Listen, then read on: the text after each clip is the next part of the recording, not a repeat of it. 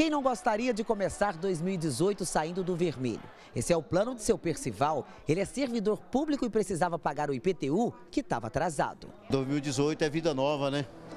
Botar as contas em dias e, e só alegria. O Marco foi quem deu uma mãozinha para o seu Percival conseguir quitar tudo. De 781 reais, o valor caiu para 573, sem multas e juros, o que facilita a negociação. A negociação começou em agosto, né?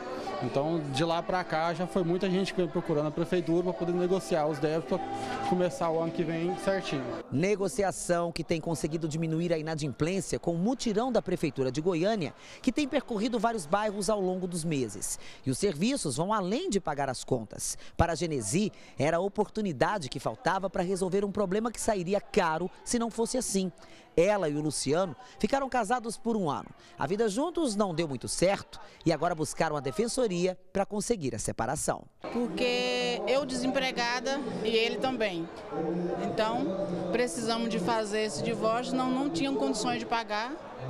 Aí eu procurei o fora e eles me encaminharam para cá. Facilita bastante porque, assim, é igual uma pessoa igual a gente está né, sem trabalho, nada. Então a defensoria facilita demais. Todos os órgãos da prefeitura num só lugar. Para o prefeito, mutirão sempre foi algo presente em suas gestões. Como ele mesmo diz, um remédio antigo para problemas bem atuais. Foi uma coisa que demonstrou à sociedade que quando as pessoas se dão as mãos para atender um, um objetivo, se torna tudo muito mais fácil do que é, obedecendo a uma burocracia. Apadrinhamento afetivo. Um projeto bacana que a Severiana estava doida para conhecer. Saber como que eu posso ajudar uma criança, e eu acho que é uma troca também, né?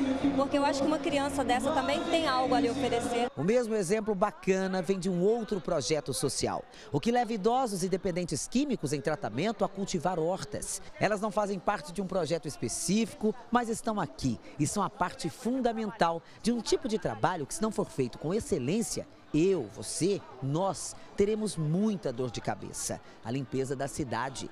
E eu faço questão de mostrar o quanto esses profissionais são importantes. Se não tiver o trabalho do Gari, o que acontece, irmão? A cidade fica suja. E aí, colega? Fica imunda. É tanta variedade de coisa aqui nesse mutirão. Quer ver? Ou melhor, quer ouvir?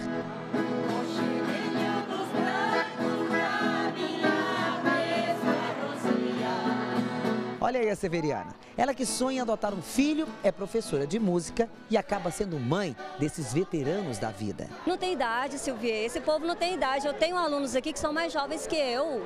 Eu tenho alunos aqui que têm 80 anos que eu não sabia. Eu achava que eles tinham 70, 65. A música transforma. A música transforma. Ser idoso não é aquela pessoa que tem que ficar quieta, sem nenhuma atividade. E através da música, através de outras atividades, através das políticas públicas que nós estamos desenvolvendo, nós vamos fazer com que todos, pessoa humana, tenham direitos e deveres iguais.